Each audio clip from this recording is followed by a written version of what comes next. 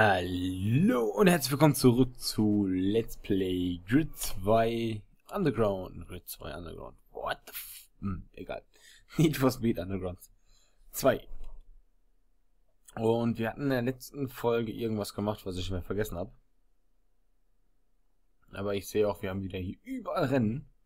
Oder besser gesagt immer noch. Und mein Plan ist es, jetzt erstmal hier oben ein bisschen was wegzufahren. Dann, dann setzen wir, dann setzen wir, hm. Okay, wir fahren andersrum. Wir fahren hier rum, dum, dum, dum, dum, dum. da fahren wir nach oben. Und dann fahren wir irgendwann wieder nach unten.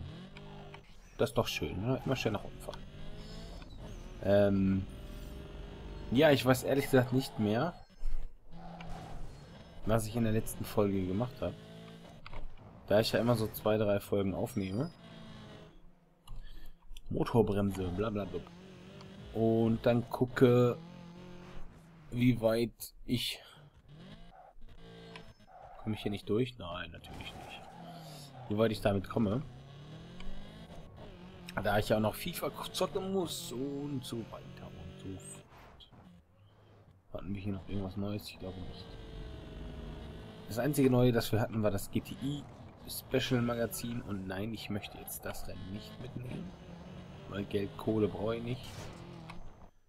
Und wir möchten auch jetzt mal langsam aber sicher Richtung Zielgerade fahren. Das kann man wortwörtlich nehmen. Und dafür müssen wir dann erstmal unsere Hauptrennen abschließen. Ja, ich habe heute... Was haben wir heute? Montag? Ich Montag, ihr Dienstag, jawohl. Und heute, beziehungsweise für euch gestern, ist auch State of Decay endlich gestartet.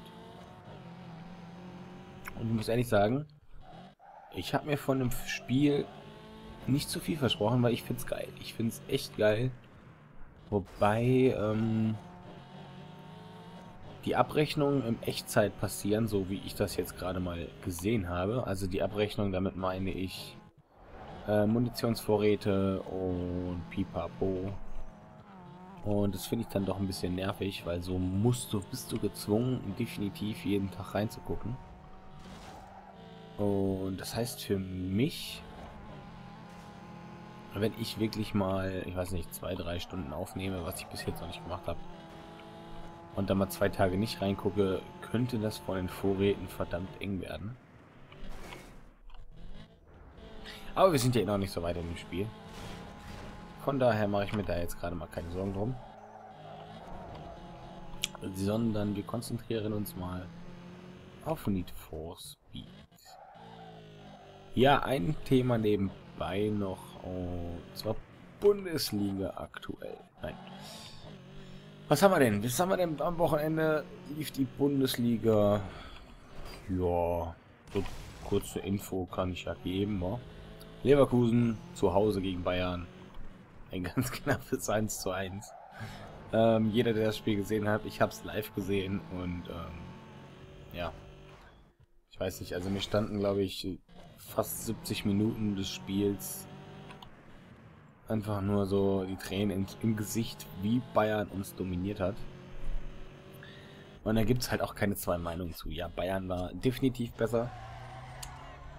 Haben uns nach Lust und Laune dominiert. Ähm, dass wir dann aber am Ende keinen Freistoß mehr bekommen haben, auch wenn die Bayern-Fans jetzt sagen, ja, sei doch lieber froh, dass ihr nicht 5-0 oder sowas zurückgelegen habt in der ersten Halbzeit. Sorry, aber das Ding war ein klarer Freistoß und da hätte vielleicht noch mehr rauskommen können, aber das wäre jetzt zu viel des Rumgeweine. Von daher sagen wir 1-1 gerechtfertigt zum... Ja, doch, ne? Aber halt nur indirekt, wenn Bayern zu dumm ist, ihre Chancen zu nutzen, komme ich hier nochmal rein. Fuck? Mann, Mann, Mann. Wenn Bayern zu dumm ist, ihre Chancen zu nutzen, können wir da auch nichts für. So sehe ich das. Und gut ist Sprintrennen, jawohl. Ja. Äh, ich muss aber auch dazu sagen,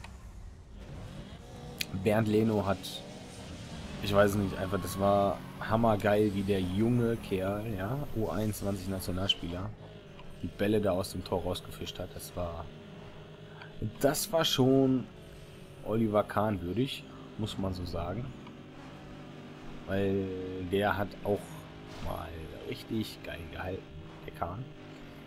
Aber das war schon, war schon Hammer, was der rausgeholt hat.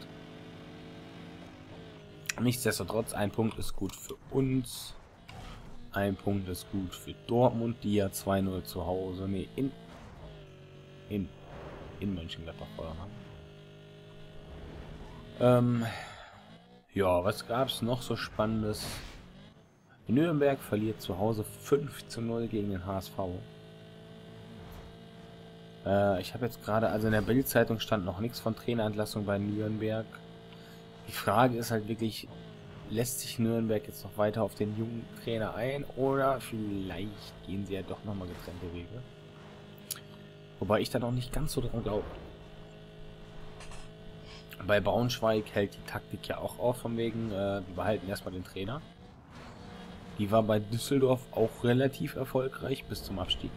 Danach haben sie dann gesagt, nö, lohnt sich nicht. Was ich teilweise halt mal wirklich, ähm, ja, also man kann es nicht immer am Trainer festmachen. Ist nun mal so, es klingt auch wie eine alte Floskel. Aber man kann nicht sagen, hey, der Trainer hat uns zum deutschen, äh, deutschen Zweitligameisterschaft geführt oder zum Aufstieg geführt. Und im nächsten Atemzug sagt man, ey, die Flachpfeife hat nichts drauf. Ja, das hat Düsseldorf letztes Jahr mit Meier gemacht. Das, der Nachteil war halt, äh, dass sie dieses Jahr nicht besser dastehen. Wobei letztes Jahr haben sie in der Hinrunde richtig geilen Fußball gespielt. Also da war Düsseldorf mächtig stark. Und in der Rückrunde haben sie abgekackt. Vielleicht machen sie es dieses Jahr andersrum und vielleicht reicht es ja dann noch, um den Klassenerhalt in der zweiten Liga zu spielen. Wobei ich... Ah, ich arbeite hier mittlerweile in Düsseldorf letzten Freitag den ersten Arbeitstag gehabt. Und da sind halt viele Düsseldorf-Fans, wa? Aber das versteht sich ja im Normalfall von selbst. Dass man in der Stadt... Nein, nein, nein, nein. Größtenteils... Ach komm schon. Größtenteils Fans... Ach, fuck you. Größtenteils Fans der eigene Mannschaft hat. Beziehungsweise der Stadt. Äh, über Viktoria Köln etc. brauchen wir nicht reden, weil Viktoria Köln, wobei die sind auch stark momentan. In Liga Nummer 3. Oder ist Viktoria Köln 4? Nee. Viktoria Köln müsste 4 sein. Ähm, aber wir waren ja bei der Bundesliga, Bundesliga, Bundesliga, Bundesliga. Schalke gewinnt 4-1. Wen hat Schalke nochmal gespielt? Gegen Augsburg. Genau, gegen Augsburg. Ja. Äh, Augsburg führt 1-0. Kassiert dann Rot in der 10. oder 11. Minute Rot plus 11 Meter. Und schon sind wir wieder in Deutschland bei dem umstrittenen Thema Notbremse. Ähm, macht der Torwart eine Notbremse, kann der Schiedsrichter gelb geben. Kann. Muss aber nicht. Ähm, aber naja, ja gut, Dortmund hat es jetzt auch getroffen. Mats Hummels hat rot kastiert. Ich habe das Spiel nur teilweise gesehen. Naja, rot plus Elfmeter ist halt immer sehr kritisch. Vor allem da der Spieler dann auch noch definitiv in den in dem nächsten Spiel fehlt. Naja. Aber man kann jetzt auch nicht alle Bundesliga-Regeln oder alle Fußballregeln auf den Kopf stellen. Weil da ist immer so, ja, ja, ne?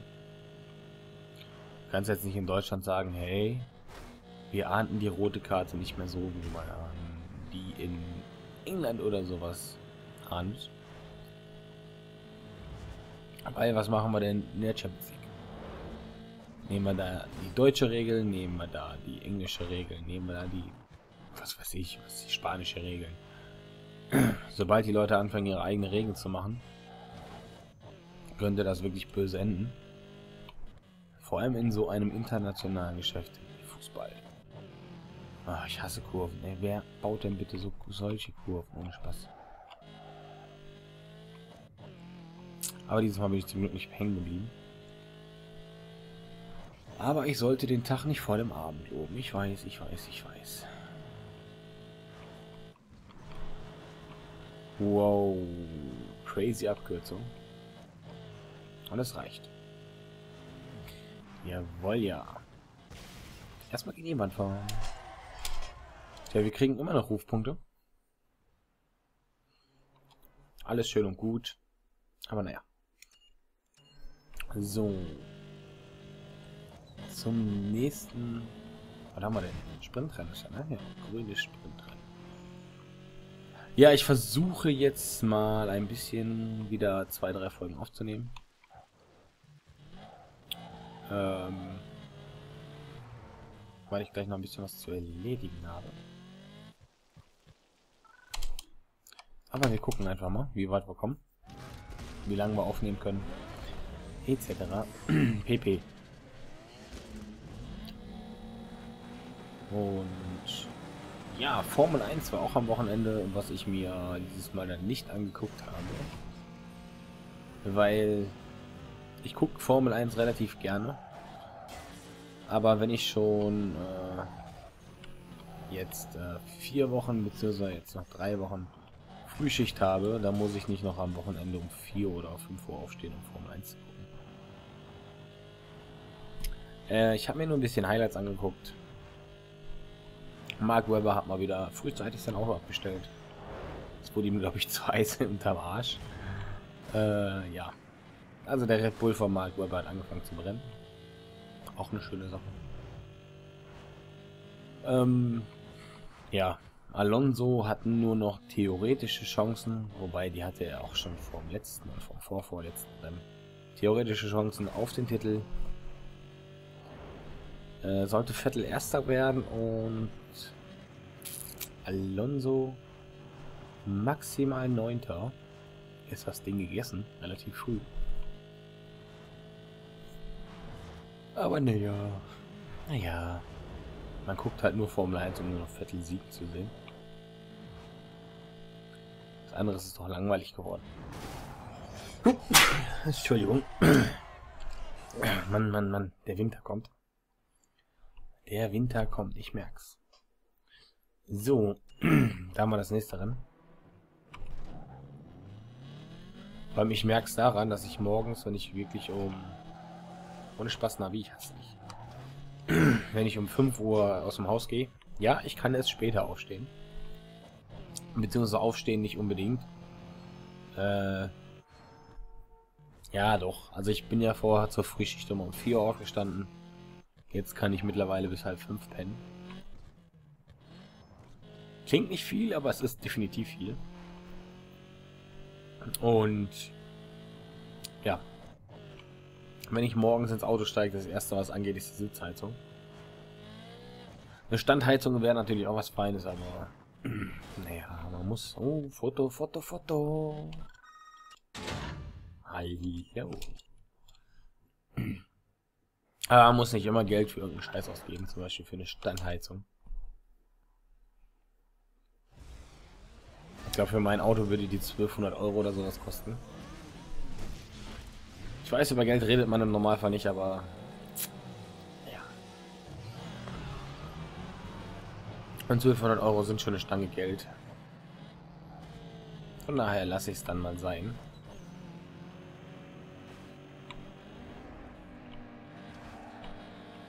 Dafür habe ich meine Sitzheizung. Ja, also eine Sitzheizung ist was Feines. Also wenn er irgendwie ein Auto kriegen können mit Sitzheizung, ist schön warm am Arsch. Und dieses Gerücht, dass man davon impotent wird. Naja. Naja, naja, naja. Ich glaub's nicht. Und wenn doch, werde ich es irgendwann sehen, wenn ich Kinder haben möchte. Kriegen sollte. Meine Freundin schwanger ist oder so. Da sind wir schon wieder bei einem Thema, was hier eigentlich im Normalfall... Was machst du da, Audi? Was im Normalfall hier nicht gehört. Jetzt habe ich mich... Jetzt habe ich mir gerade eine Nase gekratzt und habe dabei mich komplett verbremst. Das ist natürlich auch sehr schön. Aber die, die Strecke ist schön kurz. Also falls wir nochmal fahren müssten. No problemo, Sir. Das war ein Scherz mit dem nochmal fragen. Hau los ab. Hau ab. Haust du ab? Ah, verdammt, eine haben wir noch. Also kann ich ihn nochmal richtig gut verbremsen. Ja, die Battlefield, Battlefield, Battlefield 4 Demo, bzw. Beta. Ich habe zwar schon Abschlussfeedback dazu gegeben, aber es ist sehr interessant gewesen. Aber irgendwie freue ich mich selbst viel mehr auf Call of Duty, weil da ist ja mal ein richtiger Umschlag angesagt. Zumindest von der Entwicklung her ist da ein richtiger Umschlag angesagt. Was im Endeffekt dabei rauskommt oder nicht dabei rauskommt, das werden wir dann erst zum Release sehen, da ich wahrscheinlich keinen Zugang zur Beta haben werde. Oder sagen wir es mal so, ich werde keinen Zugang haben. Hm. Nicht wahrscheinlich, sondern ich werde keinen Zugang haben. Zumindest wüsste ich jetzt nicht, wo ich noch kurzfristig irgendwoher einen Beta-Zugang bekommen könnte. Ich weiß gar nicht, ob die Pre-Order-Leute einen Beta-Zugang haben. Oder überhaupt irgendwer einen Beta-Zugang hat, sagen wir mal so. Ist das schon wieder Street X? Sieht so aus, ne? Ja. Sehr schön, dreht euch mal selber. Ich habe gesagt, ihr sollt euch selber drehen. Oh Mann. Also die Street X Rennen, die sind manchmal wirklich crazy. Jawohl. Nein, warum drehst du den denn, du Idiot?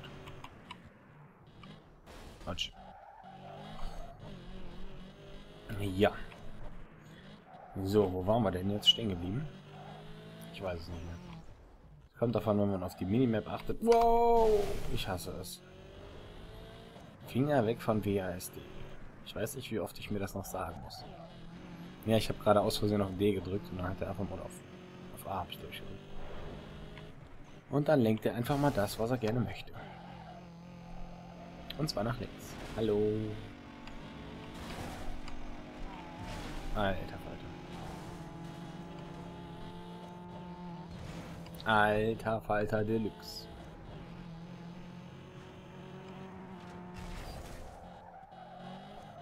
Das Rennen ist verdammt knapp. Ist etwas länger und verdammt knapp. So was gefällt mir eigentlich nicht. Ich habe schon wieder auf D gedrückt. Mann, Mann, Mann, Mann, Mann. Ja, das ist so eine Angewohnheit, die, die Finger auf WASD zu, zu legen. Das ist mal doof, aber okay. Einfach mal mit Vollbremsung trotzdem in die Wand. Go, go, go, go, go. Sehr schön. Wir haben eh noch eine Runde, noch eh noch zwei, anderthalb Runden. So.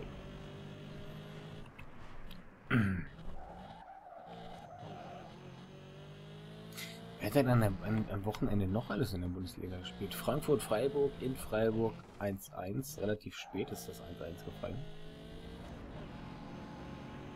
Ja. Was mich halt ein bisschen wundert, ist äh, Freiburg als Europacup-Teilnehmer. Beziehungsweise UEFA Europa League. Den Europacup gibt es ja nicht mehr. Äh, dümpelt, glaube ich, auf dem vorletzten Platz rum punktgleich, wenn ich mich nicht irre, mit Braunschweig. Naja. Das heißt, also... Ich weiß nicht, wie lang ähm, Freiburg die Doppelbelastung standhält. DFB-Pokal, äh, Europa League, Bundesliga.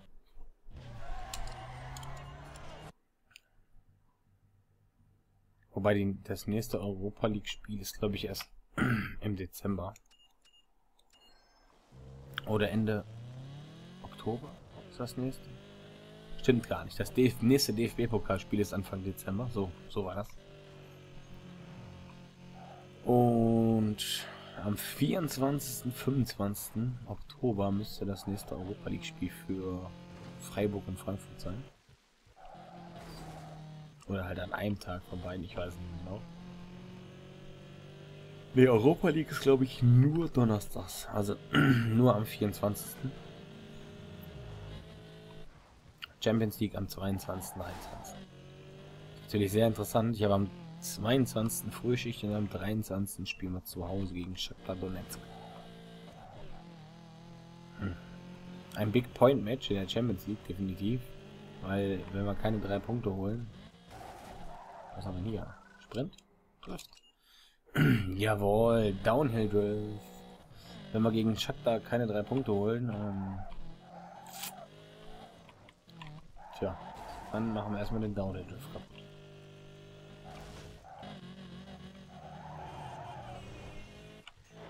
Bin noch knapp vorbeigedriftet. Nur so am Rande. Ich bräuchte äh, 200. Verdammt. No way. Glück gehabt. Ich brauche nur 260.000 Punkte. Habe ich doch ganz locker gewürftet. In einem... In einem... Hier hatte ich schon mal einen Drift von 95.000.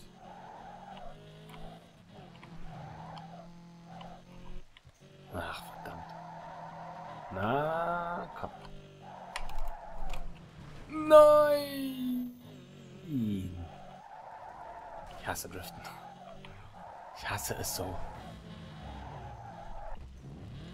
Naja.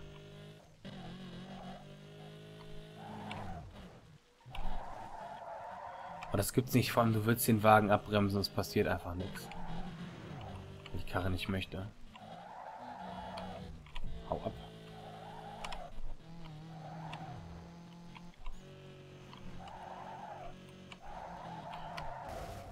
No comment. No comment. Da gehst du voll auf Risiko und wirst dann echt noch bestraft. Danke, Spiel.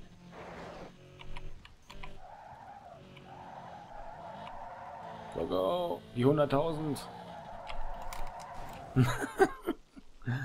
Alter, Walter. Na, das... Das hätte sich nicht mehr gelohnt. Die letzten 20 Meter da zu driften. Mit 40.000 40, k Punkten. Bin viel zu schnell unterwegs.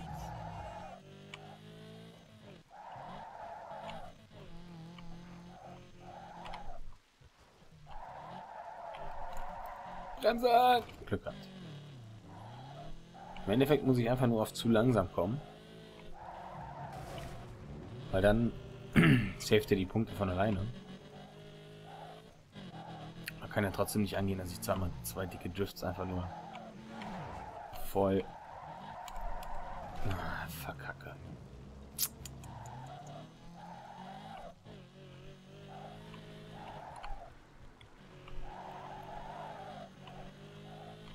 So, jetzt haben wir die 30k Mücken. Mann.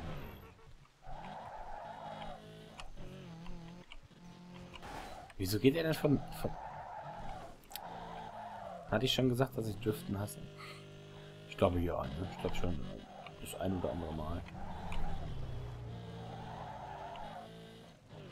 Nein. Ach, Glück gehabt. Nein, Glück gehabt. Ja. 190.000, 190.000 Punkte versammelt. Nee, 190 Punkte. Geh woanders hin.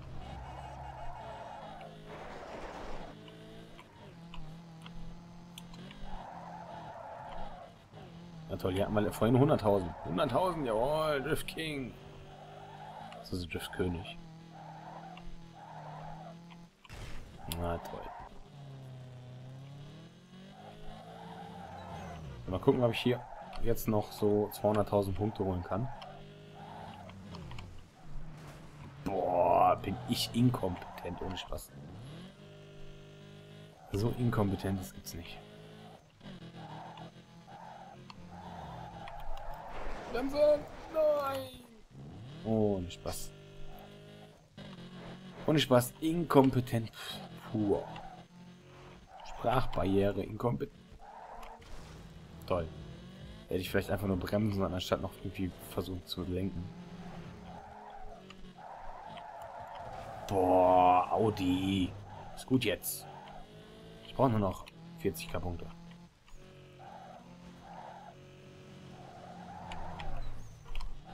Nur noch ein bisschen weniger.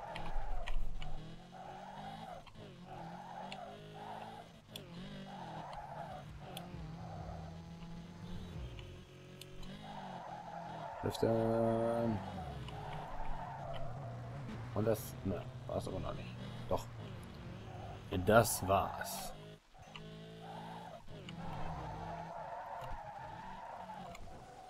Jetzt müsst ihr mir mal verraten, wie ich hier auf der Strecke noch irgendwie 200.000 Punkte vorhin einhalten müssen.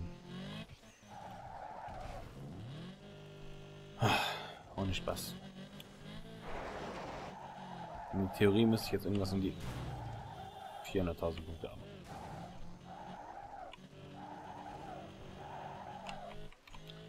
In der Praxis habe ich nicht ganz so viel.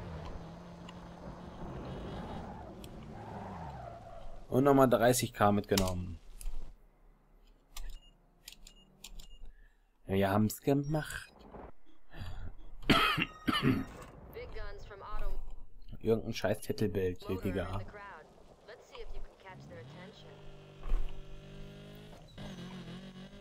So, wir fahren noch eben zum nächsten Rennen, dann mache ich hier schon mal First Cutty. Cutty Cutty.